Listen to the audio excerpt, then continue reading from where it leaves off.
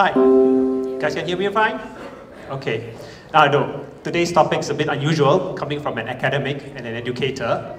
But this started about four to five years ago. I was having dinner with uh, some of my wife's friends, and the husband of one of the wife's friends, and I and some were washing the dishes, and we were talking. And then he, after a while, he said to me, Eric, I believe that going to college is a waste of time. Unless you're going for a technical degree or professional degree like um, medicine, engineering, architecture, law, where you need a certification. And I said, computer science, you don't even need to go to college, especially IT and computer science. And I said, well, what do you mean? So he said, well, most of the things nowadays, you can go to Google, Wikipedia, you can go and learn online, on YouTube. Or if worst comes to worst, you don't understand it, buy a textbook from the bookshop. And you have to understand this guy's background. His name is Ryan, by the way. He started with a degree in hospitality, went and did some business with his parents, business, and um, his wife, married his wife, and they started a music school together. And so he was dealing, building up the business and everything. After a while, he realized he had no HR, human resource software to manage the staff and all that. And so he learned by himself, through YouTube and reading up books, how to program an HR module by himself. And then after a while, he realized there was a need. Because all these small companies, 5, 10, 20 people, don't, cannot afford this kind of uh, HR software, which is very expensive out in the market. So he decided, he gave it to them, free, and if he wanted only the basic module, of course, customization, extra modules, then he would charge for it. And when the music school, they finally closed it down due to the economic uh, events at the beginning of the year, that's what he's doing full time now.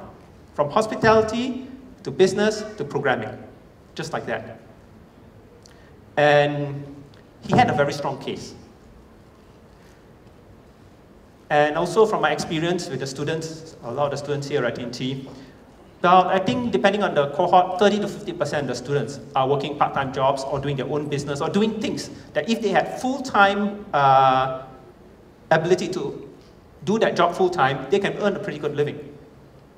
However, I would like to say that my friend was right that you don't really need to college, but why I agreed to him up to a point, okay, that it's not required. But after reviewing what we did in college and things like that, I think he missed three important points. And that before you go tell your parents that your dean or your lecturer tells you you don't need to college and you're going to quit and go do your full-time job right now, and before my boss is right in front of me right now tells me I don't have to come back to work on Monday ever again, allow me to finish my talk. This is where the but comes in. Okay. First thing, these are the three points that I believe he missed.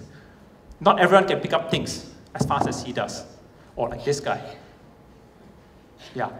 This guy won gold medal at the World Championships by learning how to throw better on YouTube.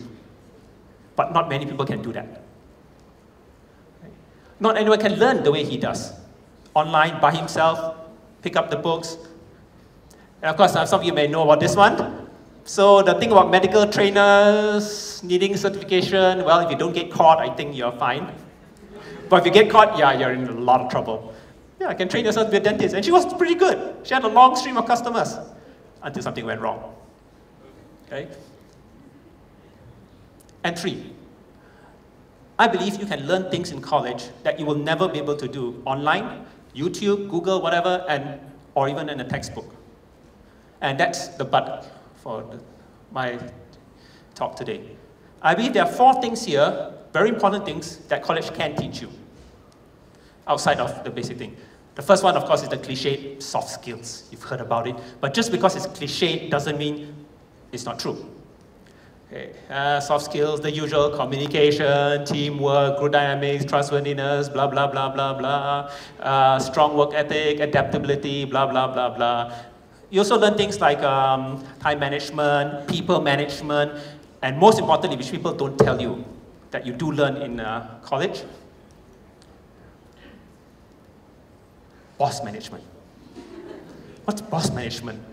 First of all, in order to learn how to manage your bosses, you got to see your teachers are not your enemies. Okay?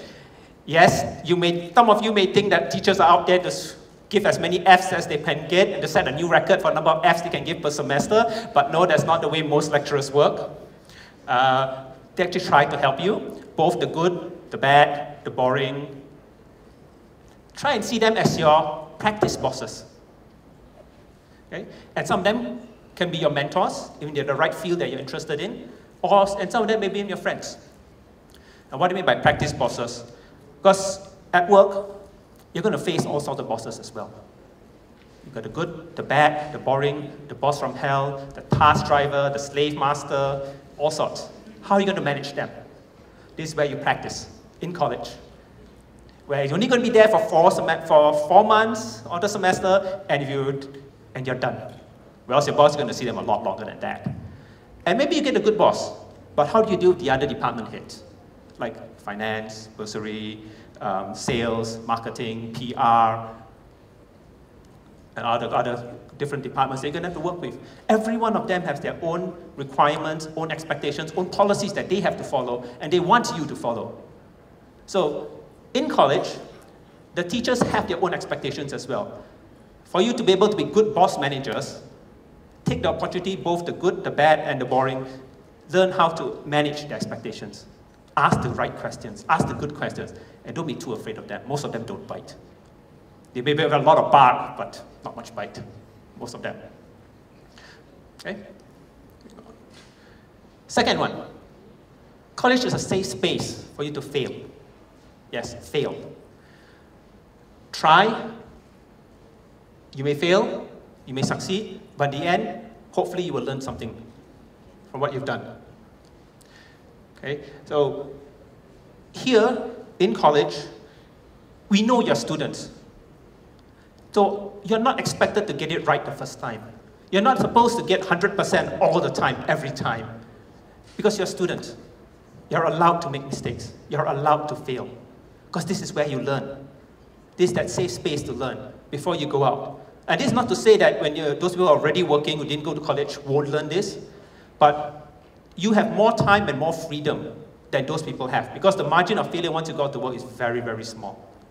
And some places where a zero, a wrong decimal point can cost you the difference between 100,000 and 1 million, you, have, you may have zero chances to making mistakes at work. Here, just one mark. May only cost you one mark, five marks.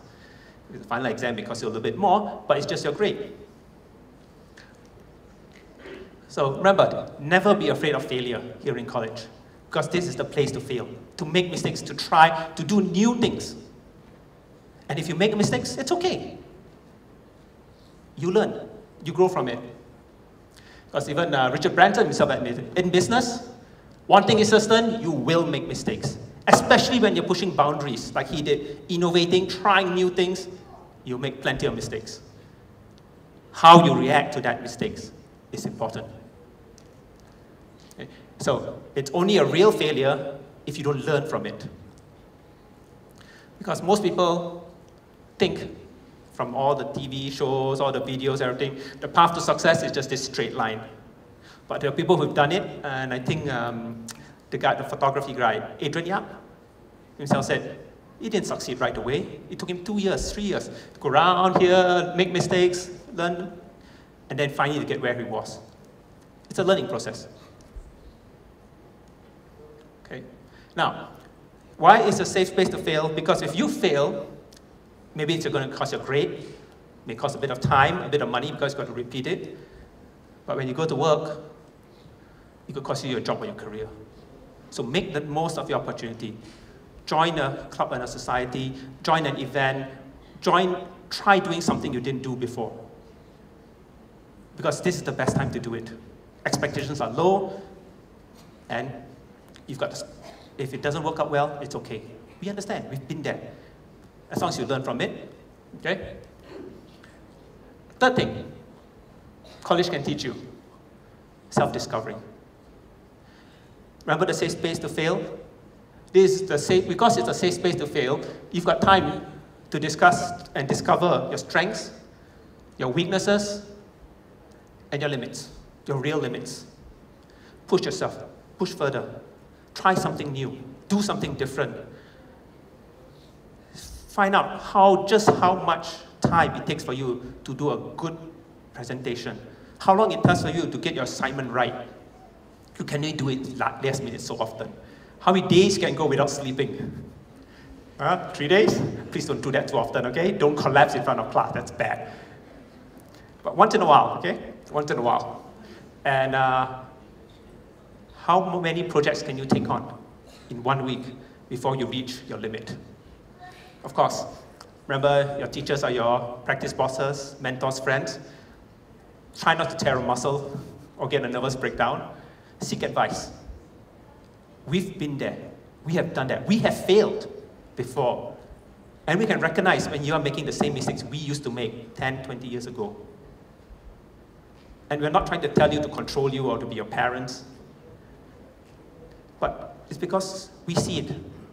Maybe you're doing it different. That's good. But doesn't mean you shouldn't listen either. Yes. Learn to stretch yourself beyond what you think is possible. But make sure the tree can support your weight. Huh? Okay. So, safe space for failure, safe space to discover yourselves. And finally, the most important one. This is where college really comes on its own. This is a place for ideas. This is a place for sharing of ideas. People from different backgrounds, different programs, different majors, different ways of seeing things and doing things. Ideas. To share their ideas.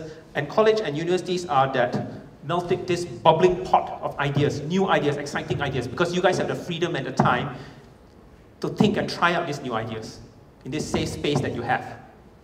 To try, to fail, to refine your idea and do it again. Oops,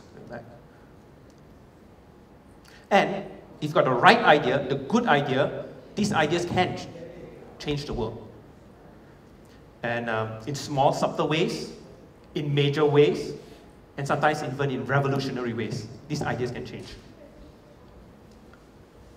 But ideas is one thing. You got to act on your ideas. So use your time in college to put your ideas into practice. Because ideas plus action, that's where the real change happens. I'll give you three examples of people whose ideas changed the world. Not in the way you think it is. This one has been recorded many times, but I don't think many of you know about this. You guys know what calligraphy is? Yeah, it's that fancy writing, yeah? This is how being exposed to the idea of calligraphy changed the way Steve Jobs saw computers. And he said, if I never dropped in on that single calligraphy class in Reed College, the Macintosh would never have multiple typefaces of proportionally spaced fonts. This was the first time the Mac, the first offering of fonts they had. Bit of history lesson here. Do you guys remember, uh, those of you who are around my time, remember WordPerfect, WordStar, Lotus 123? my bosses can remember that. Yes, I'm revealing my age as well. How many fonts did we have when it comes to choosing the fonts? Four maybe? And then they're all variations of that same font. But when Steve Jobs got exposed to it, he realized, you know what? Maybe it'd be nice to have different fonts, different types. And this small little change, and now we've got hundreds of fonts, thousands. You can download it and find. You can even create your own fonts now just because of that idea of calligraphy, making things look a little better. Here's another one that's changed the world. You guys know who he is, yeah? You guys know the history of uh, Facebook? Yeah, right, no need to talk about much. Five friends, he started in Harvard University, the idea of Facebook. And that has really changed the world, hasn't it? They started revolutionaries because of that. And finally, here's an extreme case of revolutionary ideas. This is a whole mass of people on top of the stadium, and this is in Indonesia, 1998. They call it Reformasi 1998. That was when uh, President Suharto stepped down after ruling for nearly 30 years in Indonesia. And this was because of students in Indonesia. And this was not the first time they had done it. In 1966, they, because of the students, Indonesia uh, caused the stepping down of the previous dictator, Sukarno, and Suharto took over. And later then, he tried to suppress the students because he saw what's happening, but it didn't work. Eventually, the students revolutionary ideas created a change in Indonesia that actually led them to have a change in Indonesia. Now, I understand how sensitive things are, especially in a few weeks' time here in Malaysia. So here's a disclaimer. I'm neither promoting nor condemning any overthrow of any government by any student revolution. This is just a historical fact of extreme example how student ideas can move students to change the world. Moving on. just in case you know someone sees this, and you may not see me two weeks later. okay. Now, being the safe space for ideas that you have here in college, how do you get these exposures? This is where the college societies, the talks, especially TEDx. So I'm really glad so many of you took the time on a Saturday, paid for it too. Normally the talks are free. Coming for a talk like this to get exposed to different ideas. That's where you get the exposure. Try something new. Go to a different talk. Go to a different speaker. Get out of your cliques. Try every semester, if you have a group project, don't work with the same group of people every semester. Work for different group of people. It may be difficult, it may be challenging, but you will learn, you may learn a new way of seeing things and doing things which you never have discovered before. Because you need to get exposed to these ideas of how things can be done or should be done. And also prepare you too when you go out to work and you get different ideas and some people are very, very hard on their ideas, very stubborn on giving up their ideas. You got to learn how to work with that as well. Okay? This is a safe space and incubator.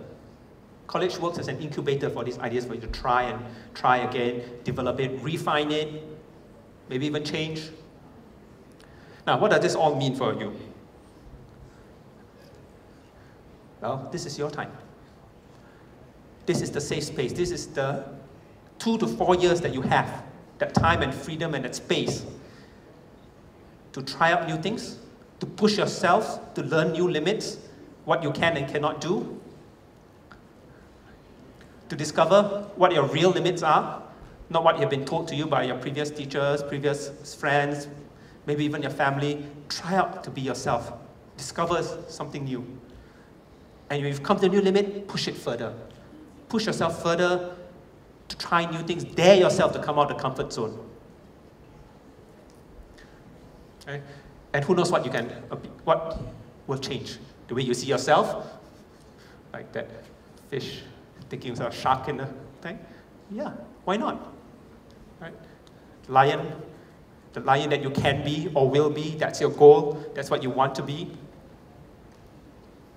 And most importantly, because I understand some of you have a lot of um, things you have to balance work, family, studies, and things like that. You don't have time for activities anymore.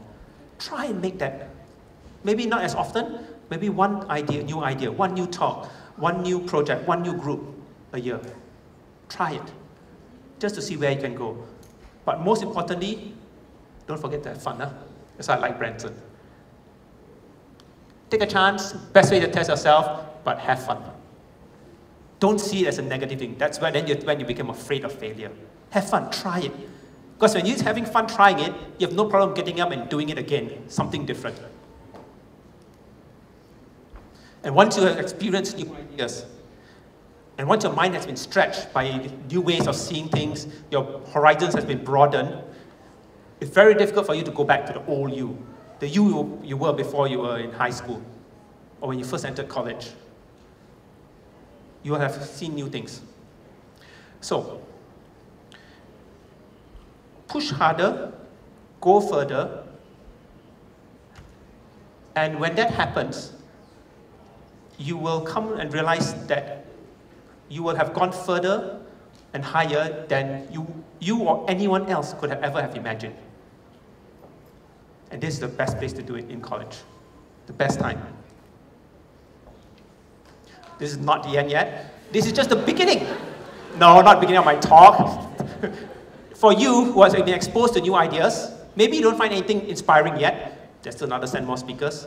Or maybe the, the seed of an idea may have started. Okay? And that will just be the beginning for your idea to slowly take root and grow and develop. And who knows, one of your ideas may start to change the world. And I know one of the, one of the uh, upcoming speakers, his idea of safe water filters, easy to maintain, is going to change the way things are going to happen in uh, East Malaysia. All because of an idea that he started here in college. Push yourselves. And who knows, you may find yourself the next uh, TED speaker, yeah? Never expected that, right? Good. So let this be the beginning of it. Thank you very much for your time for listening.